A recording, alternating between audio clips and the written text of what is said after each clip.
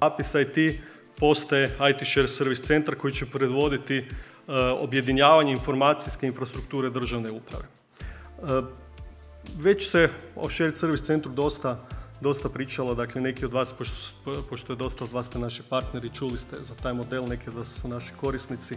Sigurno je da se od modela očekuje daljnja racionalizacija troškova, standardizacija, da, su, eh, da se očekuje transparentnost, da se očekuje da se ostave nove mogućnosti i za privatni sektor da kroz taj model maksimalno pomogne eh, informatizaciji cijele države.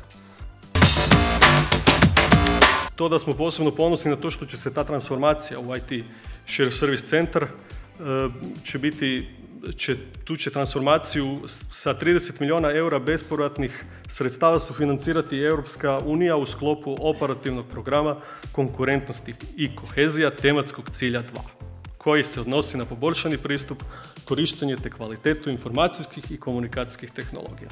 Dakle, za ovaj projekt, za e, dobili smo zeleno svjetlo od, od Brisela. Vjerujem da bi ovaj dodatni izvor financiranja trebao veseliti naše vlasnike, ali bi isto tako trebao veseliti i naše partnere. Dakle, ako imamo tu projekciju da će jedno da ćemo mi primiti direktnih 30 milijuna eura u, tom sljedećem 3 do 5 godišnjem razdoblju.